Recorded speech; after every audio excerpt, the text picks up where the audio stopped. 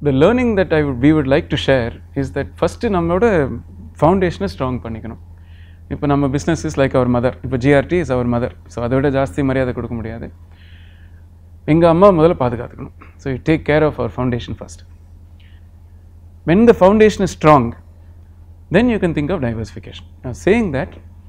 diversification பண்ணுறது கண்டிப்பாக நல்லது because one of the early learnings that every businessman should know is is not keep all the eggs in one basket but முதல்ல அந்த பாஸ்கெட்டை strong பண்ணிக்கணும். That's what I mean so first make the foundation strong strong not only in terms of of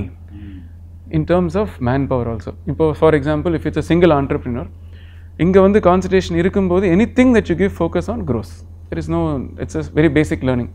but when you give your focus to something else இந்த mother plan செத்துறக்கூடாது. இந்த ஆலமரம் கீழே தான் எல்லாமே இருக்குங்கிறது ஞாபகம் வச்சுக்கணும்.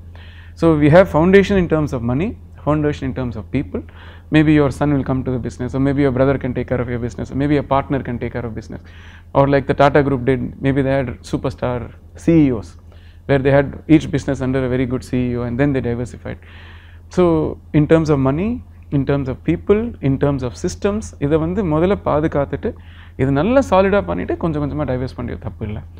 டைவர்சிஃபை கண்டிப்பாக பண்ணணும் but step by step so any business